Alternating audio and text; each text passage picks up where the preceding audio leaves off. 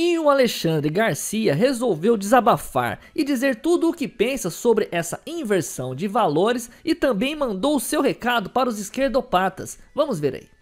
Gente, hoje, na favela do Jacarezinho, houve uma operação policial contra o Comando Vermelho. 25 mortos. Um policial civil. Mas já houve uma, um movimento grande contra isso.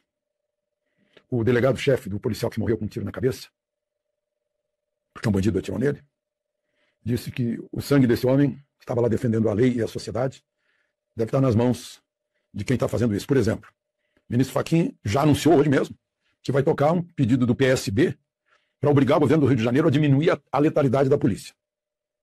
Ou seja, o policial, se for atacado, não pode silenciar o atacante. Deixa que ele atire, atire de fuzil a esmo na cidade o delegado disse que também se referiu a entidades de direitos humanos que já se mobilizaram, Ministério Público, onde é que se viu matar bandido. Eu, eu fico pensando, por que essa inversão de tudo nesse país?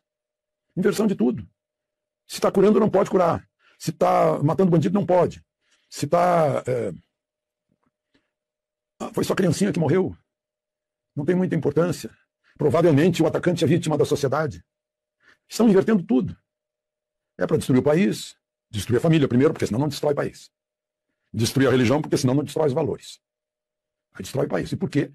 Porque, minha gente, esse país está fadado a ser a maior potência do mundo. É só olhar para o nosso potencial. O Alexandre Garcia é sempre excelente em suas análises. É verdade, pé de pano. O Alexandre Garcia é uma pessoa muito inteligente e que tem também muita sabedoria. Você gosta muito dele, pé de pano? Gosto demais, eu assisto todos os vídeos. E o que, que você faz nos vídeos dele, pé de pano? Eu sinto meu coice no like. isso, isso, isso, isso, isso. Decepção pra esquerda no Brasil. tá certo, pé de pano. Realmente merece um coice no like, um coice no gostei. Afinal, o Alexandre Garcia mandou muito bem. E neste vídeo, melhor ainda, ele mandou toda a real, disse tudo o que pensa nesse desabafo. E parabéns para o Alexandre Garcia.